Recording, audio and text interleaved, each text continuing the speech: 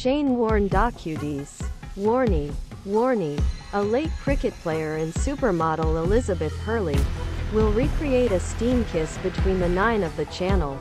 The Australian actor Alex Williams, who depicts British actress Shanti Kali in Warne, who plays the British beauty, shares a passionate embrace by taking photos from upcoming show.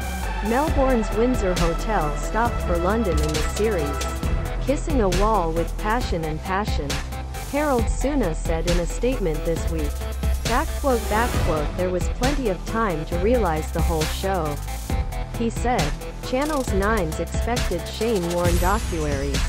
Warnie, late cricket player and supermodel Elizabeth Hurley will recreate a steam kiss between Hurley the British model and the actress said that Hurley watched almost everything I can take my hands to. Correct Hurley's attitude. He is just grounded, hard-working, humorous and magnificent he said.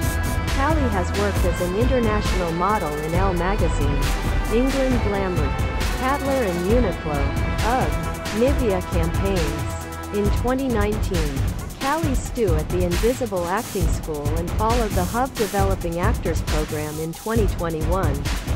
Australian actor Alex Williams depicting British actress Shanti Kali in Warne, who plays British Beauty, shares a passionate embrace from the upcoming show Warnie will celebrate its first major acting role.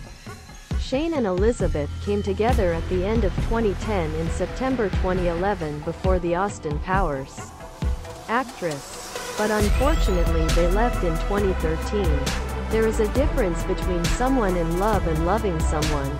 Warren's words. Elizabeth with romance with the happiest time of his life came after branding. Kali worked as an international model in Elle magazine, England Glamour, Tatler and Uniqlo, UGG, Nivea campaigns. Australian actor Alex Williams warned he returned to his romance with the cricket player Elizabeth. When we were together, we both had a great time.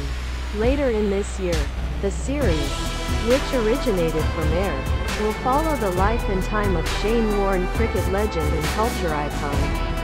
Shane and Elizabeth came together late 2010 September 2011 before the Austin Powers player.